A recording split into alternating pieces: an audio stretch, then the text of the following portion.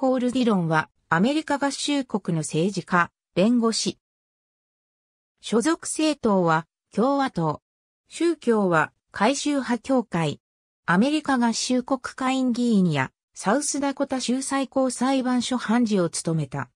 第一次世界大戦における対独戦線復刻の決議の審議で、ジャネット・ランキンらと共に反対票を入れた下院議員の一人である。チャールズ・ホール・ディロンは、1853年12月18日に、インディアナ州、デュボイス郡ジャスパー近郊に住んでいたマシュービー・ディロンとメアリー・ディロン、旧姓、スチュワートの間に生まれた。1874年にインディアナ大学で学士号を取得して卒業し、1876年に同大ブルーミントン校、ロースクールで修士号を取得した。同年、弁護士資格を取得すると、地元ジャスパーで弁護士活動を始めた。1882年にダコタ準州ミッチェルに移り、1903年から1911年までサウスダコタ州上院議員を務めた。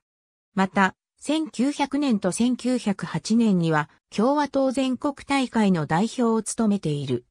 1912年、アメリカ下院議員選挙にサウスダコタ州1区から出馬して当選し、3期連続当選を果たしたが、1918年の共和党予備選挙でチャールズ・クリストファーソンに敗れた。落選後はヤンクトンで弁護士活動を再開させ、1922年から州最高裁判所の判事を務めた。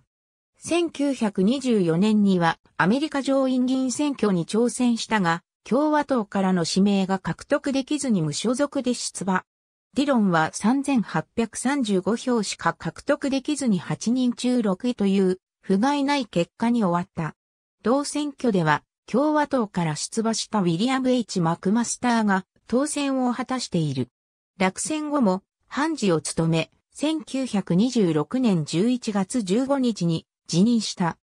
1929年、サウスダコタシューバーミリオンで死去し、ヤンクトン墓地に埋葬された。第一次世界大戦中の1917年4月5日、連邦議会は対独戦線布告決議の採決を行った。ディロンは、ジャネット・ランキンら50人の会議員と共に反対票を投じた。決議自体は373票の賛成多数で可決されている。また、サウスダコタ州に苦戦室で同じ共和党のロイヤル・ジョンソンも宣戦布告決議に反対したが、サウスダコタ州3区の民主党議員、ハリー・ガンディは賛成票を投じた。ありがとうございます。